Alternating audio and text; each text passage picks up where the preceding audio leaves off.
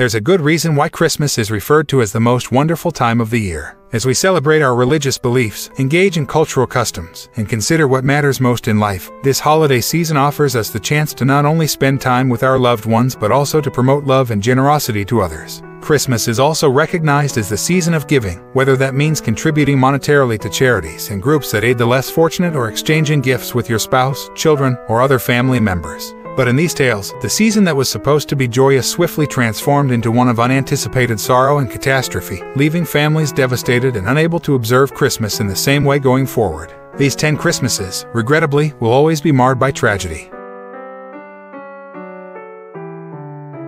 Zazo Preston, a 26-year-old from Anaheim, California, was enrolled in Cypress College's program with the goal of becoming a domestic abuse counselor. Preston's kind, forgiving, and compassionate nature, however, led to her being stuck in a marriage where she endured years of abuse at the hands of her spouse, William Wallace. Wallace served 18 days in jail after entering a guilty plea in 2008 for assaulting Preston and making death threats against her. Wallace eventually convinced Preston to reconcile with him despite being subject to a restraining order. For the next three years, Wallace kept threatening to kill Preston, and tragically, at Christmas 2011, he carried out his threat. Wallace, Preston, and their seven-week-old boy shared an apartment with Preston's kids, ages 3 and 8, from a previous relationship.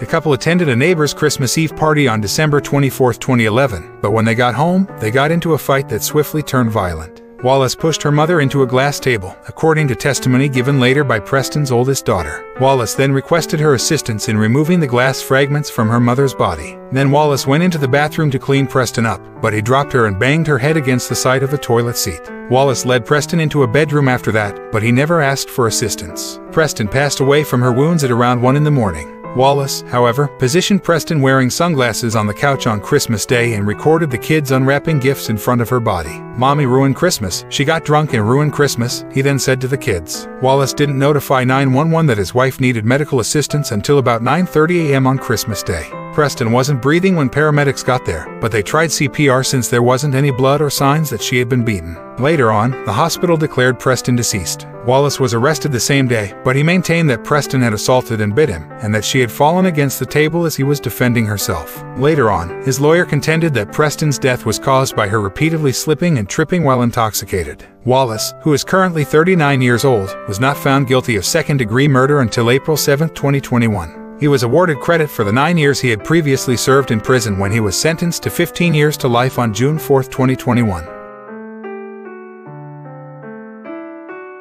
Della Gallagher, 46, became ill on December 25, 2012, in the evening, following a Christmas Day pub lunch at the Railway Hotel in Hornchurch, East London, where she had consumed a four-course turkey meal. Gallagher was one of seven individuals in their 16-person group who fell ill after consuming the turkey. Nonetheless, Gallagher's health kept becoming worse. On Boxing Day, December 26, 2012, Gallagher's husband, John Gallagher, 51, drove her to Queen's Hospital in Romford, where she was given an examination in an ambulance. According to John, Gallagher had an injection but no blood test was conducted. Instead, she was told to lie down at home. Later that day, Gallagher sadly went into cardiac arrest at home. John phoned an ambulance, but by then, Gallagher barely had a pulse. She tragically passed away on December 27, 2012, at the hospital, leaving her 14-year-old daughter and her husband behind. The family of Gallagher proceeded to sue Mitchells and Butlers, the company that operates the Railway Hotel, in civil court for negligence. However, since 33 individuals became ill in all, police and health safety authorities have started a thorough inquiry into the incident. The Clostridium perfringens bacteria, which is frequently responsible for food poisoning,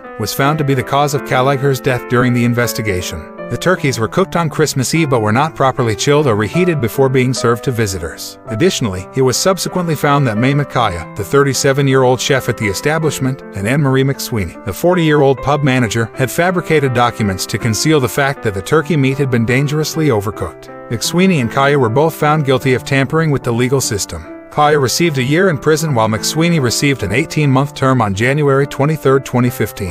In addition, Mitchell's and Butler's, a chain of pubs, was fined $1.9 million for selling contaminated food.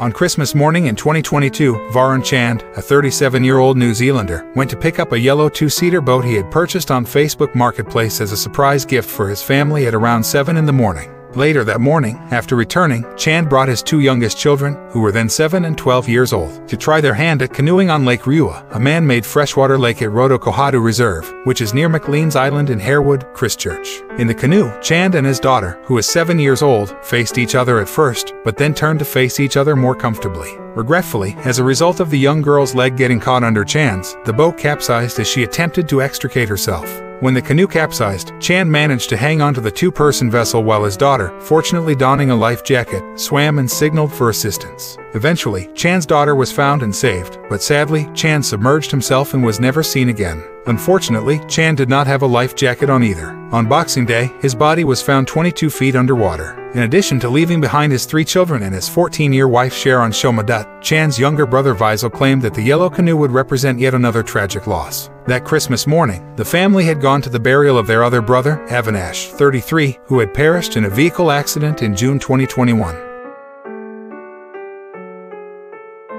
On Christmas morning in 2021, Margaret Shively had intended to visit her mother Elaine Pfizer, aged 57, at her Detroit, Michigan home to assist with dinner preparation.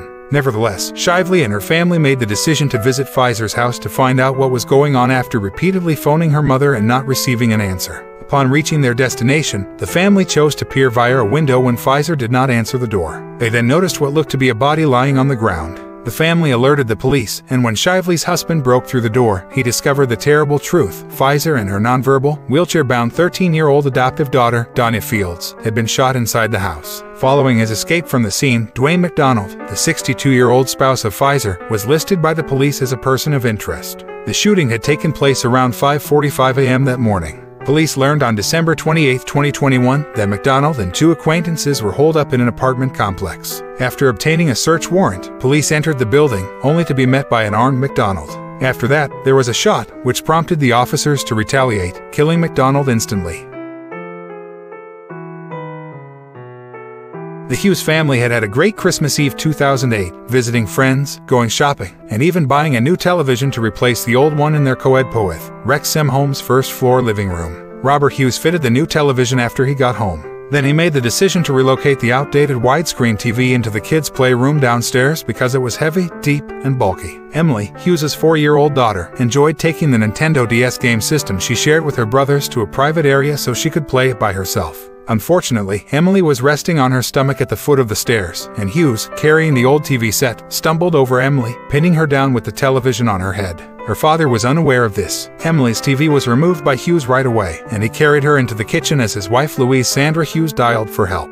Emily never came to, even though Mr. and Mrs. Hughes tried to revive her until the paramedics arrived. Emily's brain was not getting enough oxygen or blood, so she was sent to the Wrexham Maelor Hospital and then moved to the Alder Hey Hospital in Liverpool. Sadly, Emily had a broken skull in the collision, and her brain trauma halted her blood pressure and pulse. On Christmas Day, at 10:10 p.m., she was declared deceased. Sophia Aloa's mother, Tina Mendoza, was naturally concerned that her daughter would not complete high school when Sophia became pregnant at the age of 16. Mendoza, however, said, Boy, did that girl prove me wrong, as Aloa continued to graduate, take care of her child, keep good grades, and work. By 2000, Aloa, then 20 years old, and her daughter Jasmine, then 4, had returned to Mendoza's Stockton, California home. Regretfully, what was meant to be the most memorable Christmas ever ended up being the worst, and sever their family's bonds. Aloa made the decision to go last-minute Christmas shopping on that Christmas Eve, hoping to find Jasmine the ideal present, a new scooter. Mendoza went to bed while Aloa went shopping. On December 24, 2000, however, Mendoza was awakened from her sleep by loud screams coming from outside soon after midnight. Aloa was waiting behind Mendoza's car, holding her hand and yelling, Go get him, I've been stabbed, as Mendoza fled outside. Instead of sprinting in Aloa's direction, Mendoza returned inside the home to dial 911. Upon the arrival of detectives, Aloa was discovered laying close to her car, which was brimming with Christmas gifts for her daughter. The only lead the Stockton police had when searching for a suspect was the observation of a light-colored Ford Thunderbird or Mercury Cougar driving away from the scene at the time of the murder. Sadly, after being taken to the hospital, Aloa, their lone witness, was declared dead just after 1 in the morning. Lisa Orozco, who was Aloa's closest friend at the time, subsequently stated that the previous night, someone called her and said that someone would kill her. On the other hand, Orozco said Aloa received a phone call, but Ed Rodriguez, a lead detective with the Stockton Police Department, said he was never informed about it. Rodriguez and the California State Governor's Office offered a $50,000 prize in 2001 for any information that would result in Aloa's arrest and conviction. Regretfully, despite the fact that innumerable individuals have been questioned and questioned again, no suspect has ever been identified. Even though Aloa's daughter Jasmine is grown and has a child of her own, Christmas Eve serves as a somber reminder of Aloa's passing and the unresolved case. Casson Hallwood, a 12-year-old from Winsford, Cheshire, was allergic to nuts and experienced asthma. Hallwood frequently spent Christmas in the hospital because of his asthma. But since 2020 was the only Christmas that Hallwood did not spend the holiday in the hospital, it is only natural that the child awoke on Christmas morning eager to receive presents. Hallwood, his mother Louise, and his three brothers, Cohen and Corley, who are 18 years old, and Caden, who is 13 years old, spent the day at home together. After supper, Hallwood went to his grandparents' house and licked his plate clean. Hallwood and a few of his buddies visited the Wharton Recreation Park following dinner. After around 20 minutes, Hallwood gave his mother a call and asked her to send one of his siblings to the park so he could get his inhaler. After using the inhaler, one of Hallwood's twin brothers observed that his brother seemed well. Louise knew the inhaler hadn't worked, though, when she got a second call from her son. The EpiPen, which had been stored at Hallwood's grandparents' home, had sadly expired by the time Louise hurried to the park with it. Hallwood's bulging eyes, which indicate an allergic reaction, were there when Louise arrived at the park, but the EpiPen injection had no effect on his health. After Louise dialed for help, Hallwood was taken to Crewe's Leighton Hospital. Sadly, he passed very soon after due to anaphylaxis deadly asthma, which was brought on by eating peanuts and included bilateral pneumonia. Tragically, it was later learned that Albert, Hallwood's grandfather, had prepared a gammon and a beef joint for Christmas dinner the previous evening but had been unaware of Hallwood's nut sensitivity. He utilized a gammon glaze, which contained nuts. Cody Hedich, 28, of Spencer Township, Michigan, called his wife Sash Hedich, 27, a fantastic mom and a great wife. He also called her ridiculously smart. Sasha cherished baking, canning vegetables, hosting get-togethers with friends, and even making time to do things for her kids. After their daughter was born, Sasha struggled with postpartum depression. Thankfully, she was treated and made a successful recovery. Regretfully, Sasha experienced difficulties once more just before their son was born in July of 2015. Her mental health never got better, even with support group counseling and treatment. Sasha informed Cody that she was heading to Starbucks with their five-month-old boy and three-year-old daughter on Christmas Day of 2015. Cody remained at home to tidy things. But Sasha was absent far longer than anticipated, and later that evening Cody filed a missing persons report. Regretfully, Sasha was discovered dead from a self-inflicted gunshot wound in a secluded place at approximately 10.30 a.m. on December 26, 2015. Their son was found strapped inside Sasha's car, trembling, and their daughter was found cuddled up against her body. After receiving hypothermia treatment, both kids were back at home on December 29, 2015, and they were doing well. Even though Cody said, this isn't something that a healthy Sasha would have done, he had no idea how serious Sasha's ideas had gotten or how tragically unexpected her death would be.